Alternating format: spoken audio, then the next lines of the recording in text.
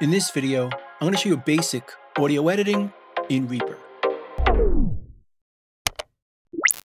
So I'm starting off with a new project, and I want to import some audio, so I'm going to go to my hard drive.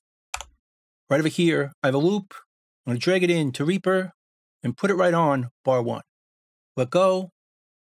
Now that file is imported to this project, and it puts it on a new track, automatically named the name of that file. Now, this is considered a media item, and we can move it around just by dragging it. Notice it snaps on the grid, bar 3, bar 4, and so on. We can turn off snapping right over here using this toolbar button, and now it'll move freely. We'll turn off the grid. Now we don't see those grid lines. Turn it back on, and now it snaps again. We could also hold down the shift key and it ignores snapping.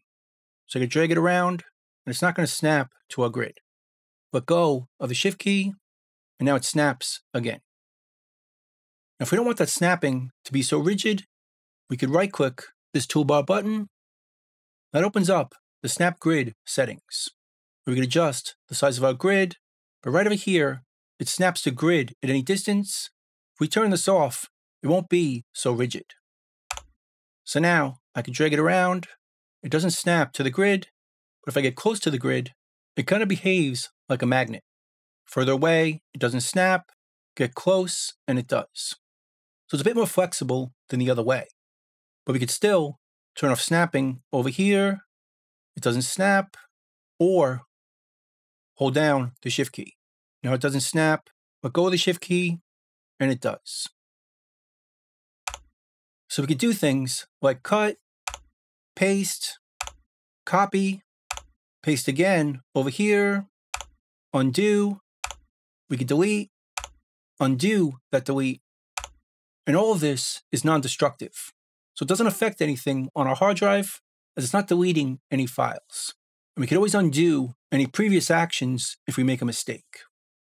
Now, typically, there's no tools to choose. Over here, we can do most things just by moving our cursor to different parts of the item. For example, we can grab it just like this, but we could also go to the left side over here. Notice the cursor changes to a trim tool. We can trim the left side like this. It can snap, hold the shift key, and it doesn't snap. And do the same thing on the right side. Cursor changes to a trim tool. Now we can trim the right side of the item either snapping or not snapping. And that's trimming. We can also fade in and out based on where we place the cursor. If we go to the upper left corner, the cursor changes to a fade tool. So I could fade in this item or not, and do the same thing in the upper right. Fade it out or not, or right click to adjust the curve on this side or this side for fading in right click, and adjust that curve. We could also move the contents within the item. Hold an Alt on the PC, Option on the Mac. It changes to this tool.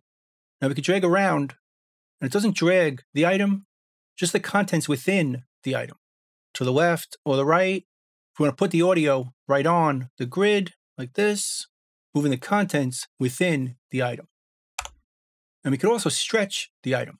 Put a cursor over here, Alt on the PC, Option on the Mac, and we could drag it to stretch it to be faster on either side, faster or slower, and it'll play back faster or slower.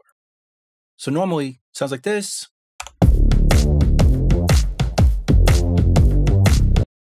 we could speed it up like this.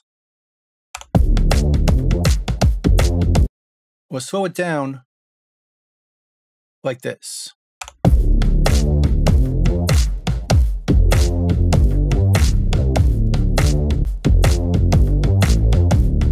By stretching the item.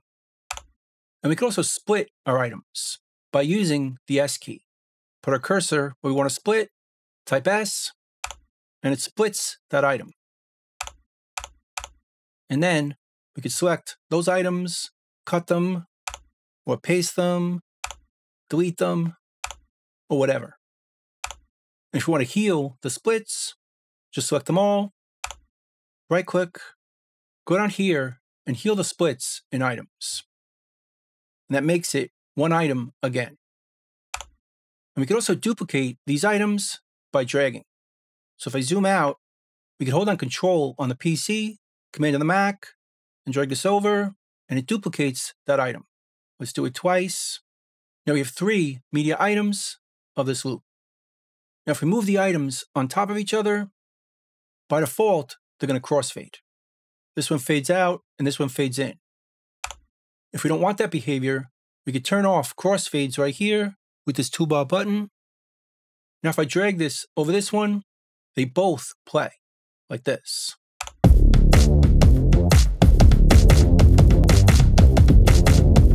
Hearing both items at the same time. If we don't want that behavior, we can go to the Options menu and turn on Trim Content behind Media Items when editing. This is off by default, but if we turn it on and we drag our items on top of each other, the first one trims the second. So if I let go, this one is now trimmed, and we're not going to hear both. Pull this out, see how it's trimmed, move it over on top, it actually deletes this item. So it trims it, so you only hear one item at a time. As opposed to this way, where we could hear both on top of each other. Now we could select multiple items, hold on the Shift key if they're next to each other to select multiple items, or use Control on the PC, Command on the Mac to choose items that are not next to each other.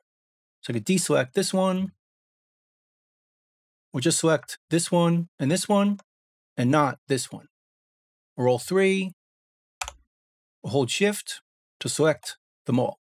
Or we can lasso them, which means right click and drag and grab all three to choose all three. Or just two like this, or these two, or again, all three. And with multiple items selected, we could edit them together. Of course, we can cut them, or paste them, or delete them, but we could also trim them on the left side, and they all trim together. We'll do the same on the right side, and they all trim together. We could adjust the contents within all together, like this.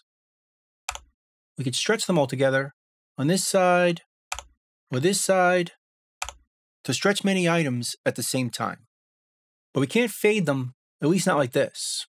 If I fade this one, it only fades this one.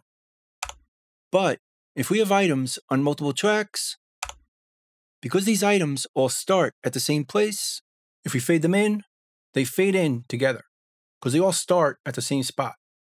And the same with the end over here, or the start over here, the end over here, and so on. So they need to start or end in the same place to fade them together.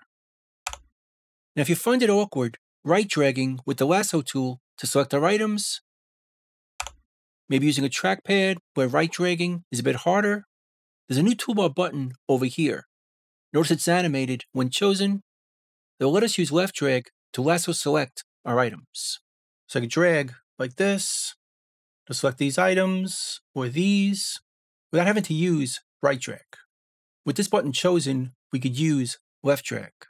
Hit it again, and now left dragging moves our items. We could also use razor editing to edit within our items. Hold on Alt on the PC, Option on the Mac, and right drag. We can create a razor edit, which works within our items and across our items based on areas.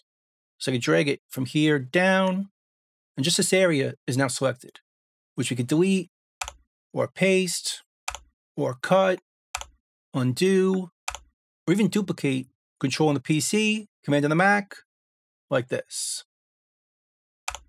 And we can do it across items, across tracks, to add to the razor edit, basically trimming it on the right side or the left side, up and down, to readjust this razor edit, which again, we can move around, delete, cut, paste, and so on. We could also create multiple razor edit areas by adding in the shift key. So on PC, it's Alt Shift, and on Mac, it's Option Shift. Hold it down and right drag, and we can create multiple razor edit areas across different tracks, just like this. And again, we can delete this, and it deletes just those areas. We can move it, we could cut it, and paste it as you want. If you want to delete the razor edit areas, Alt on the PC, Option on the Mac, and that deletes each one. Or if you want to delete all of them, add in the Shift key. So Alt Shift on the PC or Option Shift on the Mac, and just click any of the razor edit areas, and they all get cleared. Now, just like with the lasso tool, if you find it too awkward to alt right drag on the PC or option right drag on the Mac to create razor edits, we could do it by left dragging with this new toolbar button. Select it, notice it's animated. Now we can create razor edit areas just by left dragging. Create one here or here, drag it down across multiple tracks, multiple items, any way we want.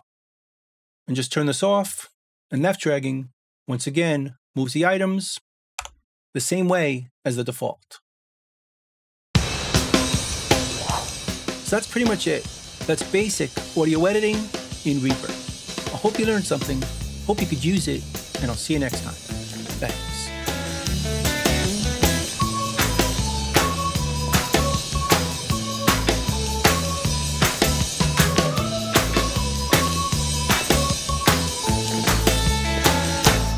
Bingo, boys, let's go.